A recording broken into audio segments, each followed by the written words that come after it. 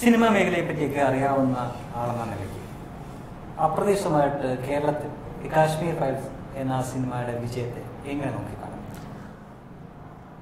First of all ഒരുപാട് സന്തോഷമുണ്ട് Kashmiri files പോലൊരു സിനിമ ഇത്രയധികം പ്രേക്ഷക പ്രീതി നേടി മുൻപോട്ട് പോകുന്നത് കാണുന്നതിൽ രാജേഷ് പറഞ്ഞത് ശരിയാണ് കേരളത്തിൽ വലിയ ഒരു ഓളം കശ്മീരി ഫയൽസ് ക്രിയേറ്റ് ചെയ്തുകൊണ്ടിരിക്കുകയാണ്. പക്ഷെ കേരളത്തിൽ മാത്രമല്ല.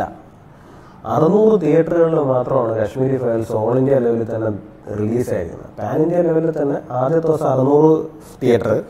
എനിക്ക് തോന്നുന്നു ആദ്യത്തെ ദിവസത്തെ കളക്ഷൻ നാല് കോടിയോ മറ്റോ ആണ്. ഫസ്റ്റ് ഓപ്പണിംഗ് ഡേ കളക്ഷൻ എന്ന് പറയുന്നത്. പക്ഷെ ശനിയാഴ്ച ദിവസമായപ്പോഴേക്കും അത് ഏതാണ്ട് ഇരട്ടിയായി. മൂന്നാമത്തെ ദിവസമായപ്പോൾ ട്രിപ്പിളായി. നാലാമത്തെ ദിവസം ഇന്ന് അല്ല കഴിഞ്ഞ ദിവസം മൺഡേ വർക്കിംഗ് ഡേ ആയിട്ട് പോലും സൺഡേയിലെ കളക്ഷൻ അത് മെയിന്റെയിൻ ചെയ്തിരിക്കുകയാണ്. ഏതാണ്ട് അറുന്നൂറ് സ്ക്രീനിൽ നിന്ന് തുടങ്ങി അത് ഏതാണ്ട് രണ്ടായിരം മൂവായിരം സ്ക്രീനിലേക്ക് എത്തിയിട്ടുണ്ട് ഇപ്പോൾ തന്നെ. അപ്പോൾ അതൊരു വലിയ സന്തോഷം തരുന്നൊരു കാര്യം തന്നെയാണ്. കാരണം കുറച്ച് മുമ്പേ ഞാൻ ട്വിറ്ററിനകത്ത് കയറിയപ്പോൾ ഒരാളുടെ ഒരു ട്വീറ്റ് ഞാൻ വായിച്ചായിരുന്നു. വളരെ പ്രമുഖനായ ഒരാളുടെയാണ്. ഞാൻ പേര് ഓർക്കുന്നില്ല. സാധാരണ എല്ലാ സിനിമയ്ക്കും പബ്ലിസിറ്റി കൊടുക്കുന്നത് അതിന്റെ പ്രൊഡക്ഷൻ ടീമോ അല്ലെങ്കിൽ ഡിസ്ട്രിബ്യൂട്ടേഴ്സോ അല്ലെങ്കിൽ അതിൽ അഭിനയിച്ച താരങ്ങളോ ഒക്കെയാണ്. പക്ഷേ ഈ സിനിമയ്ക്ക് പബ്ലിസിറ്റി കൊടുക്കുന്നത് പബ്ലിക്കാണ്. പൊതുജനമാണ്. കാരണം പൊതുജനം പറയുവാൻ ആഗ്രഹിച്ചിരുന്ന ഒരു കഥ അതൊരു സിനിമ പറഞ്ഞിരിക്കുകയാണ്. അപ്പം കഥയെന്ന് പറയാൻ പറ്റില്ല. ഒരു സംഭവം കഥയായിട്ട് അവതരിപ്പിച്ചിരിക്കുകയാണ്.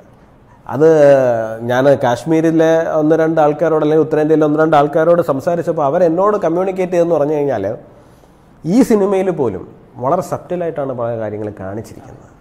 അതായത് പറയേണ്ടതായ എല്ലാ കാര്യങ്ങളും അവർ പറഞ്ഞിട്ടില്ല. അവരുടേതായ സിനിമയുടേതായ ചില പരിമിതികൾ ഉണ്ടായിരിക്കാം പക്ഷെ അവരതുപോലും പറഞ്ഞിട്ടില്ല. പക്ഷെ അത് പറയാതിരുന്നിട്ട് പോലും ഇത്രയും സബ്റ്റിലായിട്ട് കാണിച്ചിട്ട് പോലും നമ്മൾ കാണുന്നുണ്ട്. തിയേറ്ററിൽ നിന്ന് ഇറങ്ങുന്ന ആൾക്കാർ കരഞ്ഞുകൊണ്ട് ഇറങ്ങുന്നു അത് അവരുടെ ഹൃദയത്തിനെ അത് തൊട്ടിട്ടുണ്ട് ഈ സിനിമ.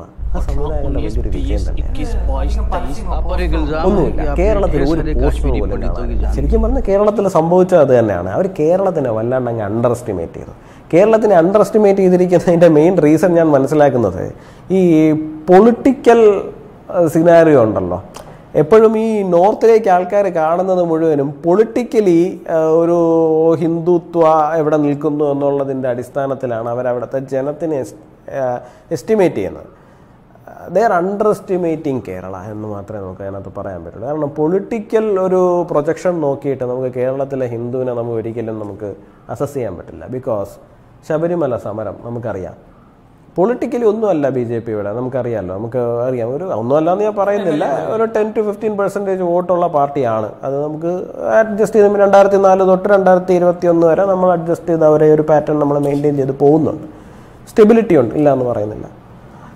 അപ്പോൾ അതിന്റെ ഒരു റിഫ്ലക്ഷൻ ഒന്നും അല്ല നമ്മൾ കേരളത്തിലെ തെരുവുകളിൽ അവിടെ സി പി എമ്മുകാരനായ ഹിന്ദു ഇറങ്ങി കോൺഗ്രസ്സുകാരനായ ഹിന്ദു ഇറങ്ങി ആർ എസ് എസ്സുകാരനായ ഹിന്ദു ഇറങ്ങി ഇതിലൊന്നിലും പെടാതെ നിന്ന ഹിന്ദുക്കൾ ഇറങ്ങി. ഇവരെല്ലാവരും ഒരുമിച്ചൊരു ഹിന്ദുത്വ പൊളിറ്റിക്കൽ സ്റ്റാൻഡ് എടുക്കുന്നതിലേക്ക് വന്നു.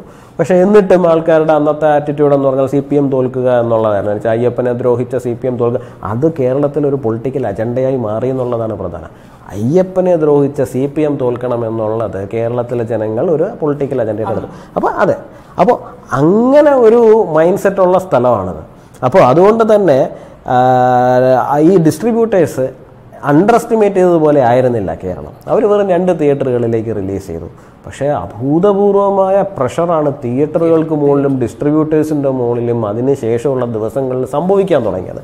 അതിന്റെ റിസൾട്ടാണ് ഇന്ന് കാണുന്ന വലിയൊരു വിജയം. ഈ സിനിമയ്ക്ക് വേറൊരു പ്രത്യേകതയുണ്ട് സാധാരണ ഒരു സിനിമ ഇവിടെ റിലീസ് ആവുന്നു. അത് ഹിറ്റായി പോകുന്നു എന്ന് കണ്ടു കഴിഞ്ഞു കഴിഞ്ഞാൽ അതിന്റെ വ്യാജന ഇറങ്ങാറുണ്ട്. അതെ.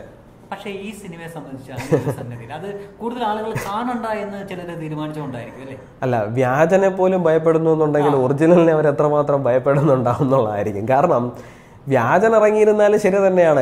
എത്തുന്ന ആൾക്കാരിലേക്ക് എത്തുന്ന കണ്ടന്റ് അത് തന്നെയല്ലേ? അത് കാണുന്ന സി നമ്മളൊരു ഞാൻ പണ്ട് കേട്ടിട്ടുണ്ട്. നമ്മുടെ ചിക്കാഗോയിൽ മതപ്രഭാഷണം വേദി ഉണ്ടായിരുന്നല്ലോ. അതിൽ സ്വാമി വിവേകാനന്ദൻ സംസാരിക്കുന്ന സമയത്ത് അദ്ദേഹം ആദ്യം അമേരിക്കയിലെ ആ ഓഡിയൻസിനെ അഡ്രസ്സ് ചെയ്ത് പറഞ്ഞ വാക്ക്. My dear sisters and brothers of America എന്നുള്ളതായിരുന്നു. അത് കേട്ടിട്ട് തന്നെ ആൾക്കാർ മുഴുവൻ എഴുന്നേറ്റ് നിന്ന് കൈയടിച്ചു എന്നും കേട്ടിട്ടുണ്ട്. നമ്മൾ ഇന്ന് നമ്മളൊരു വഴിയിൽ ഇറങ്ങി നിന്നാൽ ഒരു ഇലക്ഷനൊക്കെ ആയിക്കഴിഞ്ഞാൽ എല്ലാ രാഷ്ട്രീയക്കാരും സംസാരിക്കാൻ തുടങ്ങുമ്പോൾ നമുക്കറിയാം. പ്രിയപ്പെട്ട സഹോദരി സഹോദരന്മാരെ എന്നൊക്കെ പറഞ്ഞുകൊണ്ടാണ് സംസാരിച്ചു തുടങ്ങുന്നത്. എത്ര പേർ കൈയടിക്കാൻ തോന്നുന്നത് കേട്ട് കഴിഞ്ഞാൽ നമ്മൾ തന്നെ പറയുന്നത് പ്രിയപ്പെട്ട സഹോദരി സി ആൾക്കാർ അത് വളരെ നോർമലായിട്ട് കേട്ടിട്ടുണ്ട്. എന്തുകൊണ്ടാണെന്ന് അറിയാമോ സ്വാമി വിവേകാനന്ദൻ അത് പറഞ്ഞപ്പോൾ അദ്ദേഹത്തിന് യാതൊരു പരിചയമില്ലായിരുന്ന. അമേരിക്കയിലെ ക്രൗഡ് അത് കേട്ട് എഴുന്നേറ്റ് നിന്ന് കൈയടിച്ചു വന്നുണ്ടെങ്കിൽ it was from the heart അത് കമ്മ്യൂണിക്കേറ്റ് ആയി എന്നാണ് അർത്ഥം. അവിടെ ഇരുന്ന മുഴുവൻ ആൾക്കാരിലേക്കും ആ വാക്കുകൾ കമ്മ്യൂണിക്കേറ്റ് ആയി എന്നുള്ളതാണ് അതിന്റെ അർത്ഥം. ആ പറഞ്ഞതുപോലെയാണ് ഈ സിനിമയുടെ കാര്യം.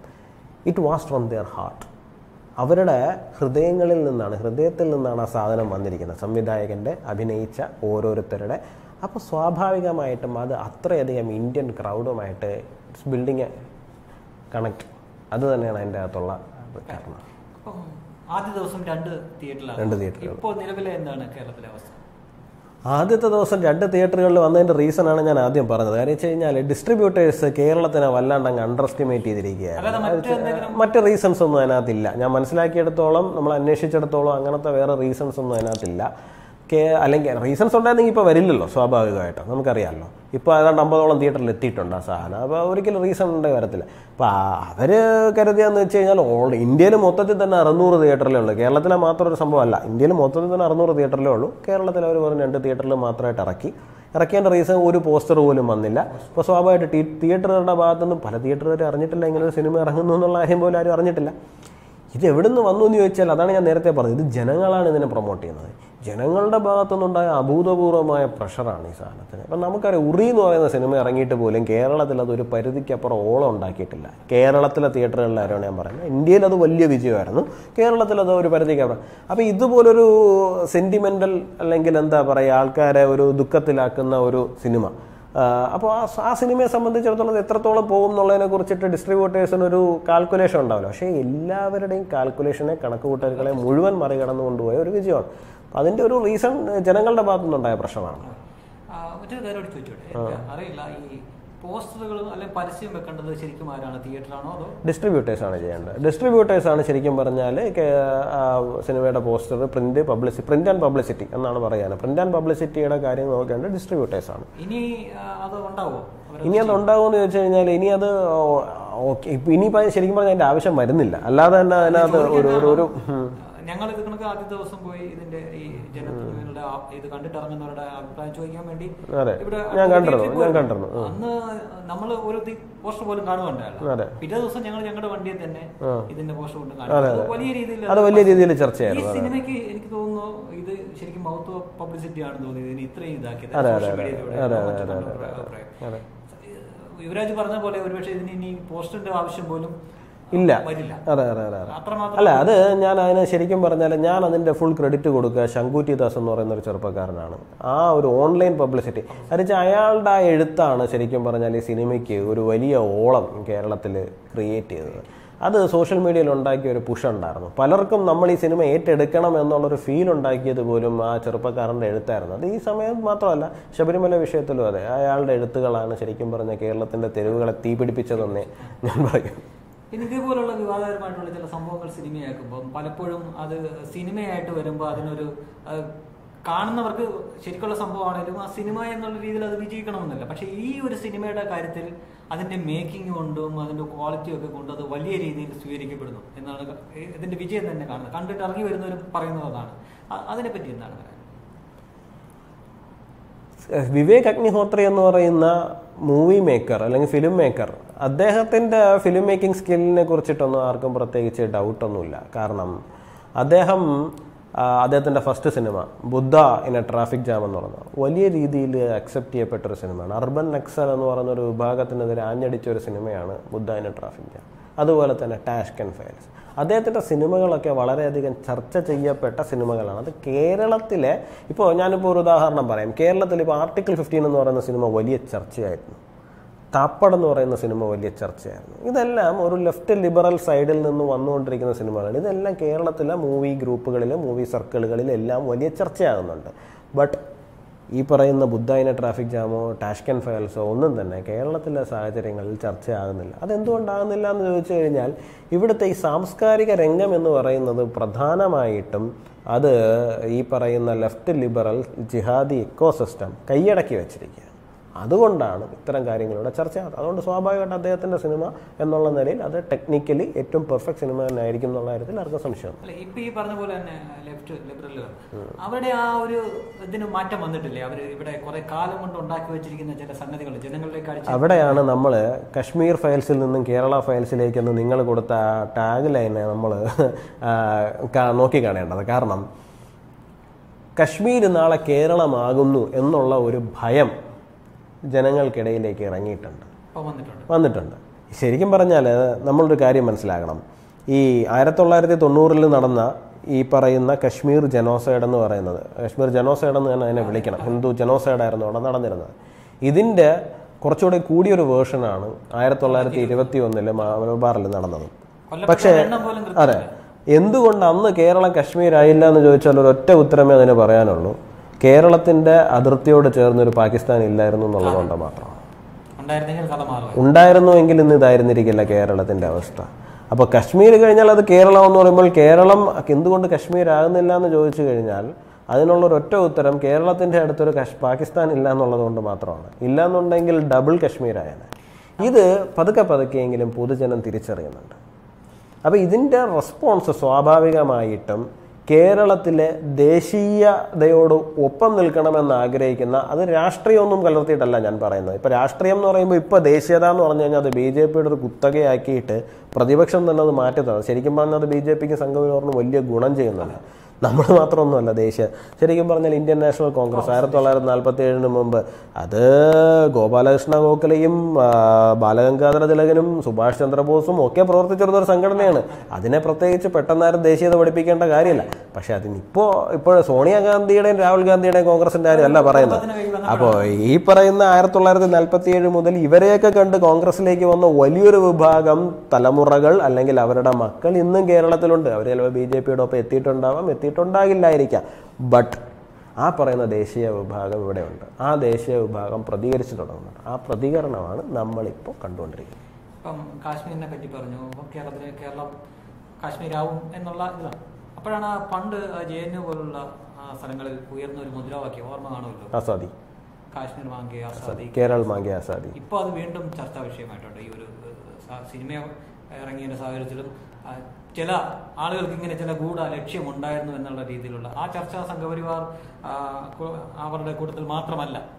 പുറത്തേക്കും അല്ല അത് ഒന്നെന്ന് വെച്ച് കഴിഞ്ഞാൽ അതൊരു ടെസ്റ്റ് ഡോസ് മാത്രമായിരുന്നു ജെ എൻ യുവിൽ അന്ന് നടന്നത്. ഇന്ത്യൻ സമൂഹം ഇങ്ങനെ ഇങ്ങനൊരു മുദ്രാവാക്യത്തോടെ എങ്ങനെ പ്രതികരിക്കുമെന്ന് അറിയുവാനുള്ള ഒരു ടെസ്റ്റ് ഡോസ് കൂടിയായിരുന്നു ആ സാധനം. അതിൽ അവർ വിജയിച്ചു എന്നേ ഞാൻ പറയുള്ളൂ. കാര്യം എന്താണെന്ന് വെച്ച് കഴിഞ്ഞാൽ കശ്മീർ മാങ്കെ ആസാദി കേരൾ മാങ്കെ ആസാദി എന്നൊക്കെ വിളിച്ചു കഴിഞ്ഞാൽ അതിന് എതിരായിട്ട് ഇന്ത്യൻ മനസാക്ഷി ഒരുമിച്ച് നിന്നാണ് പ്രതികരിക്കേണ്ടത്. അതിനെതിരായിട്ട്. അതുണ്ടായില്ല. പകരം അമ്മയെ തല്ലിയാലും രണ്ടുണ്ട് പക്ഷം എന്ന് പറയുന്നത് പോലെ കൃത്യമായി രണ്ടായി തിരിഞ്ഞു നിന്ന് നമുക്കറിയാം നമ്മുടെ ലാലേട്ടൻ അന്ന് വളരെ കാര്യമായിട്ട് ഇന്ത്യ മരിച്ചിട്ട് നാം എന്തിനു ജീവിക്കണം എന്നുള്ള തലത്തിൽ ഒരു ബ്ലോഗ് വരെ എഴുതുന്നുണ്ടായി. ലാലേട്ടനെ പോലും അവർ വലിയ രീതിയിൽ സൈബർ അറ്റാക്ക് നടത്തുന്ന ഒരു സാഹചര്യം ഉണ്ടായിട്ടുണ്ടായിരുന്നു. അപ്പോൾ ആ അത് അത് അത് ചർച്ചയാവുക തന്നെ വേണം. കാരണം നമ്മൾ തിരി ഇതിന്റെ അകത്ത് പ്രശ്നം എന്ന് വെച്ച് കഴിഞ്ഞാൽ നമ്മൾ ഈ കേരളത്തിലെ അല്ലെങ്കിൽ പ്രത്യേകിച്ച് കേരളത്തിലെ ഹിന്ദുവിന്റെ അവസ്ഥ എന്ന് പറഞ്ഞാൽ ഈ തവളയുടെ അവസ്ഥ പോലെയാണ്. ഈ തവളയ്ക്കൊരു പ്രത്യേകതയുണ്ട്. ഇതിനെ പിടിച്ച് തിളയ്ക്കുന്ന വെള്ളത്തിലിട്ട് വെള്ളത്തിലിട്ടിട്ട് അതിനെ ചൂട് കൊടുത്തുകൊണ്ടിരുന്നു കഴിഞ്ഞാൽ ഈ ചൂട് കുറേ നേരം ഇത് അഡ്ജസ്റ്റ് ചെയ്യും. എത്ര ടെമ്പറേച്ചർ കൂടിയാലും ഇത് അഡ്ജസ്റ്റ് ചെയ്യും. ഒരു പർട്ടിക്കുലർ ടെമ്പറേച്ചർ കഴിയുമ്പോൾ അതിന് പിന്നെ പിടിച്ചിരിക്കാൻ പറ്റില്ല. ബിക്കോസ് അതിന്റെ എനർജി കംപ്ലീറ്റ്ലി അത് അതിന്റെ അകത്ത് വേസ്റ്റാണ് അതിന് പുറത്ത് കിടക്കാൻ പറ്റാത്ത അതിന്റെ അകത്ത് കിടന്ന് മരിക്കും. ഈ പറയുന്നത് പോലെയാണ് കേരളത്തിലെ ഹിന്ദുവിന്റെ അവസ്ഥ. ഇവർ ഈ പറയുന്ന ഈ മതേതരത്വം എന്ന പേരിൽ സ്യൂഡോ സെക്കുലാറിസം കേരളത്തിലെ ഹിന്ദുവിലേക്ക് പതുക്കെ പതുക്കെ ഇഞ്ചക്ട് ചെയ്ത് കയറ്റുകയാണ്. എന്തിനാണ്? അവന്റെ സ്വത്വത്തിനെ നശിപ്പിക്കാനാണ്. ഇവന്റെ സ്വത്വത്തിനെ നശിപ്പിച്ചു കഴിഞ്ഞാൽ മാത്രമേ ഇവനെ നാളെ പൂർണമായും നശിപ്പിക്കുവാൻ സാധിക്കൂ എന്നുള്ള കാര്യം ഇത് എതിർപക്ഷത്ത് നിൽക്കുന്ന ലെഫ്റ്റ് ജിഹാദി എക്കോസിസ്റ്റത്തിന് വളരെ കൃത്യമായിട്ട് അറിയാം. അതായത് ആ ചൂട് അടിക്കുമ്പോൾ തന്നെ രക്ഷപ്പെടാൻ രക്ഷ അതെ അതെ അതെ അതെ. അപ്പോൾ അതെ അതെ. അപ്പോൾ അതെ അതെ അതെ. അപ്പോൾ ഈ പറയുന്ന ആസാദി മുദ്രാവാക്യം എന്ന് പറയുന്നത് വെള്ളം നാളെ തിളയ്ക്കും എന്നുള്ളത് ഇപ്പോഴേ ആ തവളയ്ക്ക് കൃത്യമായിട്ടൊരു അലേർട്ട് കൊടുക്കുന്നതിന് സമാനമാണ്. അതുകൊണ്ട് ആസാദി മുദ്രാവാക്യത്തെ കുറിച്ചുള്ള ചർച്ചകൾ ഇവിടെ ഉണ്ടാവുക ഉണ്ടായേ പറ്റും. എന്തായാലും സമൂഹത്തിൽ വളരെ പോസിറ്റീവായിട്ടുള്ള കാര്യങ്ങൾ സംഭവിക്കുന്നു സംഭവിക്കുന്നുണ്ട്. സാധാരണ കേരളത്തിൽ ഇത്തരം ഇങ്ങനെ വരുന്ന ഒരു സിനിമ ആരും ആരും അറിയാതെ അങ്ങ് പോവേണ്ടതാണ്. രണ്ടോ മൂന്നോ ദിവസം കഴിഞ്ഞ് തിയേറ്ററുകളിൽ നിന്ന് അങ്ങ് വിട്ടു പോകേണ്ട ഒരു സിനിമയാണ്. ഇന്നിപ്പോൾ ജനങ്ങൾ അറിഞ്ഞ് കൂടുതൽ ജനങ്ങൾ കാണാൻ ഒരു. ദിവസവും ആവശ്യക്കാർ അത് കാണാൻ വേണ്ടിയിട്ട് വീണ്ടും വീണ്ടും ഇടിച്ചു കയറുന്നു. അതെ അതെ അതെ. ടിക്കറ്റ് കിട്ടാൻ ടിക്കറ്റ് കിട്ടാനില്ല. കൂടുതൽ വെള്ളിയാഴ്ചകളിലാണല്ലോ ഈ അതെ അതിന്റെ ഒരു പ്രശ്നം കൂടിയുണ്ട്. കാര്യം എന്താണെന്ന് വെച്ച് കഴിഞ്ഞാൽ ഇപ്പോൾ ഈ ഡിസ്ട്രിബ്യൂട്ടേഴ്സ് ഇപ്പോൾ രണ്ട് തിയേറ്ററിലേക്ക് സിനിമ റിലീസ് ചെയ്തു. അത് കഴിഞ്ഞാൽ അത് വെള്ളിയാഴ്ചകളിലാണ് സാറിന് ചാർട്ടിങ് വരിക. വെള്ളിയാഴ്ച മുതൽ വ്യാഴാഴ്ച വരെ. ഇപ്പോൾ തിയേറ്ററിലെ ഒരു സിനിമയ്ക്ക് പർട്ടിക്കുലർ സിനിമയ്ക്ക് ആളില്ല. ഇപ്പോൾ ഈ ഇടക്കാലത്ത് ഇറങ്ങിയ ഒരു സിനിമ ഒരു താര സിനിമയാണ്. അതിന് തിങ്കളാഴ്ച ആയപ്പോൾ നാൽപ്പത്തഞ്ച് സ്ക്രീന് തിരുവനന്തപുരത്ത് മാത്രമുണ്ട്. ശരിക്കും നാൽപ്പത്തഞ്ച് സ്ക്രീനിന്റെ ആവശ്യമില്ല ആ സിനിമയ്ക്ക്. പക്ഷേ അവർക്ക് ഓടിച്ചേ പറ്റുക വ്യാഴാഴ്ച വരെയും അവർക്ക് അത് അങ്ങനെ മെയിന്റെയിൻ ചെയ്താലേ പറ്റുള്ളൂ. അത് കോൺട്രാക്റ്റാണ് അപ്പോൾ ഈ ഇടയ്ക്ക് ഇപ്പോൾ പലരും പറയുന്നുണ്ട് ഇപ്പോൾ ചില ആൾക്കാരുടെ തിയേറ്ററുകൾ ചില നടന്മാരുടെ തിയേറ്ററുകൾ എന്തുകൊണ്ട് സിനിമ വരുന്നില്ല എന്നൊക്കെ പറഞ്ഞ് വലിയ ബഹളം ഉണ്ടാക്കുന്നുണ്ട്. ഈ ബഹളത്തിന്റെ ഒന്നും ആവശ്യമില്ല. അത് കാര്യം മനസ്സിലാകാത്തതുകൊണ്ടാണ് കാരണം അവർക്ക് ഈ പറയുന്ന വ്യാഴാഴ്ച വരെ അവർക്ക് എക്സിസ്റ്റിംഗ് കോൺട്രാക്റ്റ് ഉണ്ട്. ആ കോൺട്രാക്റ്റ് ബ്രേക്ക് ചെയ്യുന്നവർക്ക് കയറ്റാൻ പറ്റില്ല. ചില തിയേറ്ററുകളിൽ പറയുന്ന നല്ല സിനിമകൾ എത്തിയിട്ടുണ്ടാവില്ല. അപ്പോൾ അവർക്ക് ആ കോൺട്രാക്റ്റുകൾ ഉണ്ടാവില്ല. അപ്പോൾ ഉണ്ടാകാത്ത സ്ഥിതിക്ക് അവർക്കത് മാറ്റേണ്ട മാറ്റി മാറ്റി കളിക്കാൻ പറ്റുമായിരിക്കും. അതുകൊണ്ടാണ് ഇപ്പോഴും ഈ കൺഫ്യൂഷൻ നിലനിൽക്കുന്നത്. എത്ര തിയേറ്ററുകളിൽ എത്തിയിട്ടുണ്ട്. വെച്ചാൽ തിയേറ്ററുകൾ ഒരുപാട് ഡിസ്ട്രിബ്യൂഷൻ കമ്പനി ഇപ്പോൾ ചാർട്ട് ചെയ്തിട്ടുണ്ട്. പക്ഷേ ഈ തിയേറ്ററുകളിൽ എത്തണമെങ്കിൽ അത് വെള്ളിയാഴ്ചയെങ്കിലും. അപ്പോൾ ഈ വെള്ളിയാഴ്ചയോട് കൂടിയാണ് നമുക്കൊരു കൃത്യമായ ധാരണ കിട്ടുള്ളൂ. എത്ര സ്ക്രീന് എത്ര ഷോ കേരളത്തിലുണ്ടെന്ന്. കാശ്മീർ ഫയൽ എന്ന സിനിമ വലിയ വിജയമാകും എന്ന കാര്യത്തിൽ ഉറപ്പാണ്. അത് വലിയ വിജയമാകുമ്പോൾ അതിലൊരു വലിയ വിജയമാകും എന്നുള്ളതല്ല. വലിയ വിജയമായി. ഇന്നത്തോടു കൂടി തന്നെ നാൽപ്പത്തെട്ട് കോടി കളക്ഷൻ എത്തിയിട്ടുണ്ട്. അത് നൂറ് കോടിക്ക് മുകളിലേക്ക് പോകും. ബ്ലോക്ക് ബസ്റ്ററിലേക്ക് തന്നെയാണ് ആ സിനിമ പൊക്കോണ്ടിരിക്കുന്നത് അതെ തീർച്ചയായിട്ടും. അഭിനന്ദനങ്ങൾ. ഇന്ത്യ മുഴുവനുള്ള പല സോഷ്യൽ മീഡിയ പേജുകളിലും ഒക്കെ കാണാം. അതെ ഞാൻ കണ്ടായിരുന്നു. ഞാൻ ട്വിറ്ററിൽ കയറിയപ്പോൾ തത്വമയി ടി വിയുടെ ആ കാറിന്റെ പുറകിൽ അത് ഒട്ടിച്ചിട്ടുള്ള ആ ഒരു സാധനം ഇങ്ങനെ ഓടുന്നുണ്ട്. പ്രതീക്ഷിക്കാത്ത ഒരു സാധനം അത്. ഒരു